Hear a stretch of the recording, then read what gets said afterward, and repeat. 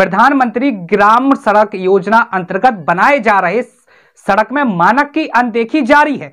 Bundela associate के ठेकेदार द्वारा निर्धारित मानक को ताक पर रखकर सड़क निर्माण कार्य कराया जा रहा है।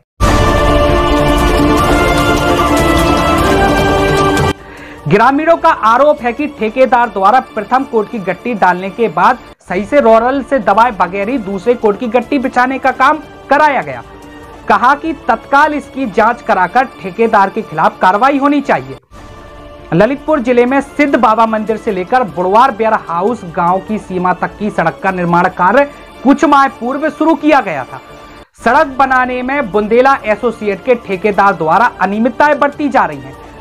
मनमाने रवैये को देख ग्रामीण रोज के आने जाने वाले वाहन चालक परेशान हैं। ग्रामीणों का कहना है कि ठेकेदार सड़क पर प्रथम कोट की गिट्टी डालने के बाद उसे रोरल से सही से नहीं दबाया। कहा कि प्रथम कोट की गिट्टी के ऊपर मुरम डालकर उसे दबाने का प्रावधान है, लेकिन ठेकेदार द्वारा ऐसा नहीं किया गया।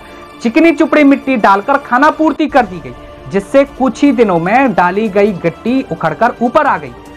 अब आवागमन करने वाले लोगों को मुसीबत तो बन गई, जिससे वह गिरकर चोटिल हो रहे हैं।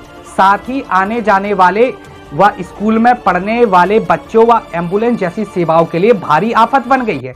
यहाँ तक कि वाहन के लिए बगल से सही से रास्ता भी नहीं दिया। तो वहीं दूसरे कोट की गिट्टी डालने का काम तेज़ी से चला। अंतिम चरण में कहीं कहीं तीसरे कोट की गिट्टी भी डाली जा रही। आज भी आवागमन करने वाले के लिए रास्ता चुनौतीपूर्ण है। लेकिन बुंदेला एसोसिएट का ठेकेदार रंगदारी दिखाते हुए अपने काम में लगा हुआ है।